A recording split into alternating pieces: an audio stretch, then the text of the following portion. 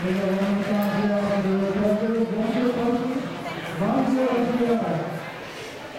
right, one more quick uh, reminder. If you're on the skate rink, if you're actually on the skate rink floor, there are no food or drinks at all.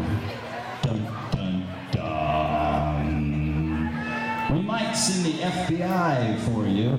Of course, that might take a month.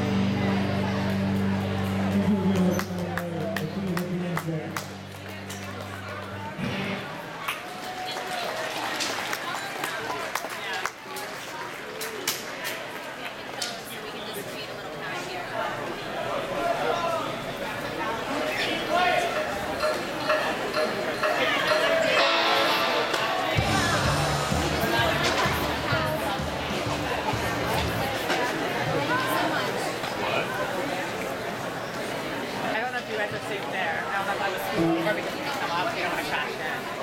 So if you scoot over a little bit. Yeah.